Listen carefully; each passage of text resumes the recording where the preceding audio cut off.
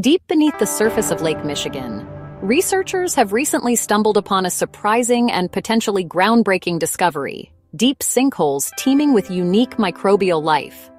These unusual geological formations are depressions in the lake bed, likely formed by the dissolution of underlying limestone. They create isolated environments with distinct chemical conditions compared to the rest of the lake. What makes these sinkholes particularly interesting is their extreme conditions. They are cold, dark, and significantly depleted in oxygen. Such environments typically do not support the usual aquatic life found in Lake Michigan. However, researchers from the National Oceanic and Atmospheric Administration have found that these harsh conditions are home to unique microbial ecosystems.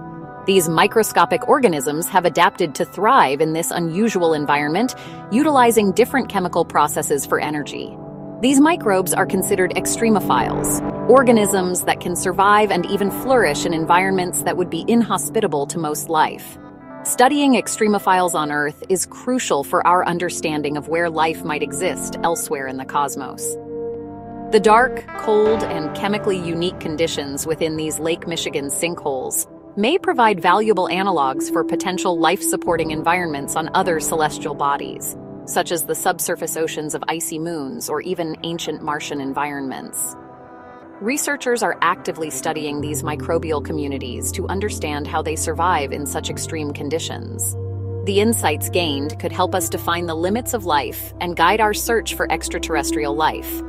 By understanding the adaptations of these Lake Michigan microbes, we can better envision the possibilities for life existing in similarly challenging environments beyond Earth, where sunlight may be absent and conditions extreme.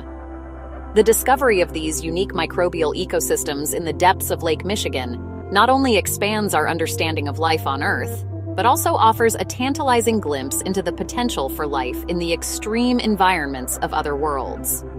Thanks for watching Curiosity Stream. If you enjoyed diving into this topic, be sure to like this video and subscribe for more fascinating insights.